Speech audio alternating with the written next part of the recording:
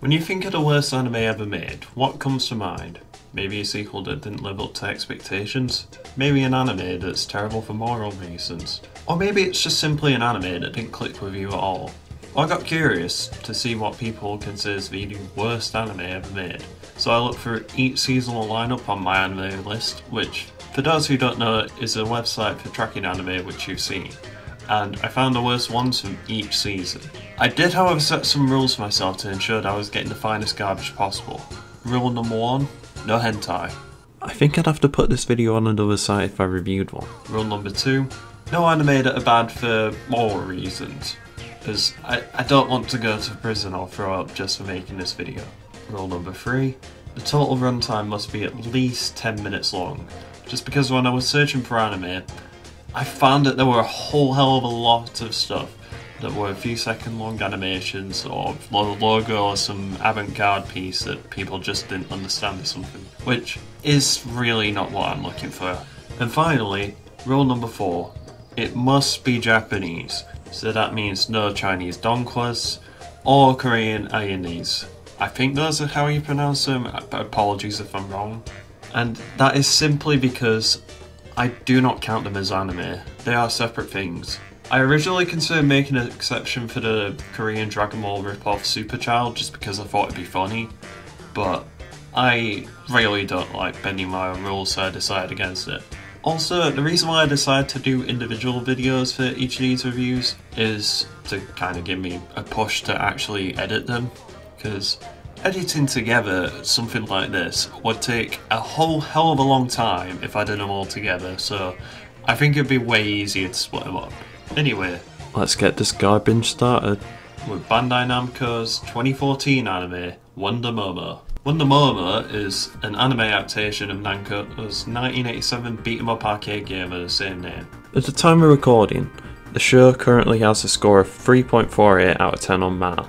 However, that number is subject to change. Heck, when I recorded this part of the video previously, it was actually 3.70 out of 10.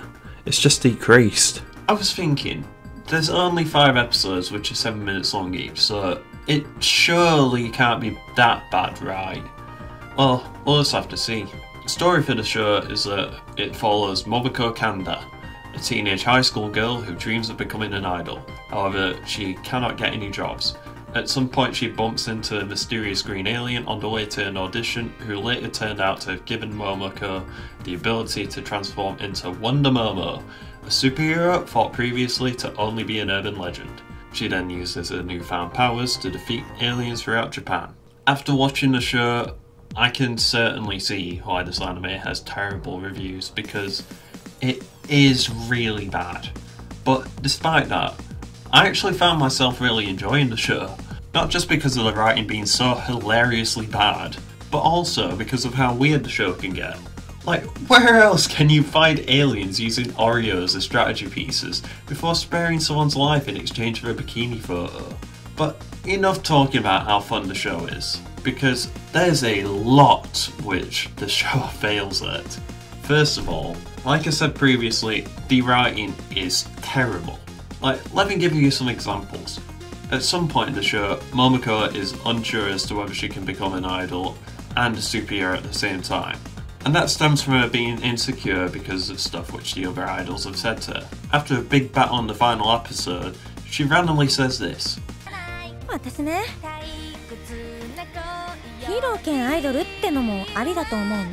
Like what?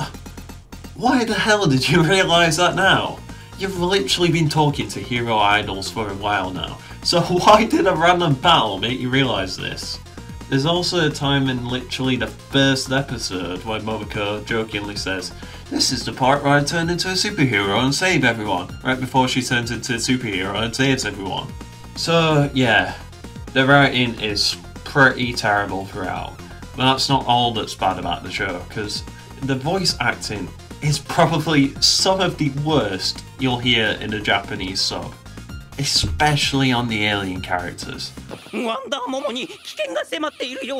Like, I genuinely thought that the voice acting in the 1993 JoJo's Bizarre Adventure OVAs was bad. But this is on a whole nother level. Animation wise, most of the time, It looks kind of average, with it sometimes being a bit bad. The only part with great animation is the transformation sequence which appears in every single episode of the show. I wouldn't say it's the ugliest anime around, but it's certainly not the prettiest either. The characters are really bad, as they usually either give out dialogue that doesn't really make so much sense for the situation or just kind of sucks, or their behaviour just doesn't really make much sense. Like at some point in the show, Momoko's mother, who is actually uh, the original Wonder Momo and is played by the same voice actress, grounds her for saving lives. You know, the thing that you'd normally get praise for? Honestly, throughout the show, I felt kind of bad for Momoko. Like, she just gets punished for no reason, the other idols don't like her, and she's just plain unlucky. I'd have to say that all the issues I've listed up until now aren't really that big of an issue. When compared to the final issue of the show ending on a cliffhanger, which is apparently sold in a mobile game. Yes, you heard me right. You have to play a mobile game in order to watch the ending to Wonder Momo.